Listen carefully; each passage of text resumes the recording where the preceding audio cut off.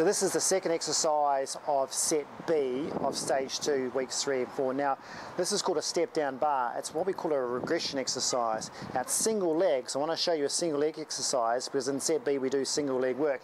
But most people at this stage have only done sort of two weeks of the program from stage one, so they don't have enough VMO strength here, don't have enough bulk here, they don't have enough strength in the glute here, so when they stand on one leg, they sort of tend to roll in a little bit, and sometimes, you know, the weight of just your body on one leg, doing on one leg is what? Is too much, okay, so we have to work out, try and find a way to try and deload that person, so rather than stacking on weights, we actually have to take the weight off. Now, we still have to do a single exercise, single leg exercise, so the regression using a bar is one of the best ways of doing that, all right? So, tips for this one.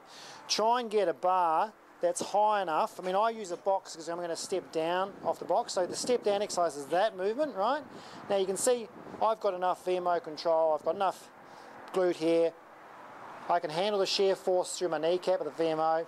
My glute control is keeping my knee in line, not letting my knee roll in. But in stage two, some people don't have enough. So what we do is get you using a bar like this.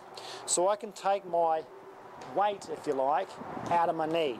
So when I drop down, I'm actually doing almost like a push-up. So some of my body weight is being transferred into the bar, so it's out of my knee.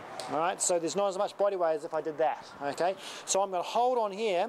As I squat down into a single leg step down, I let my knee travel forward and this allows people to go through normal range in their knee without the pain. So I'm getting that normal movement pattern working, I'm getting the VMO working, I'm getting the glute working through a normal range and getting that experience to sneak some strengthening in for two weeks until I get to the stage three where I'm to not allow a bar.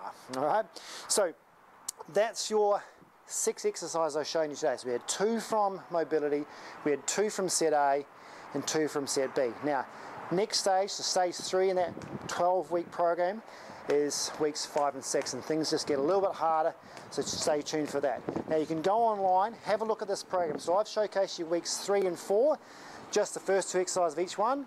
Next video, I'm going to show you the next two exercises of each level, so each mobility, set A and set B. But have a look online, check out those three weeks, have a look how the program's laid out, and you can see all the exercises in detail of what we went through today. See you next time.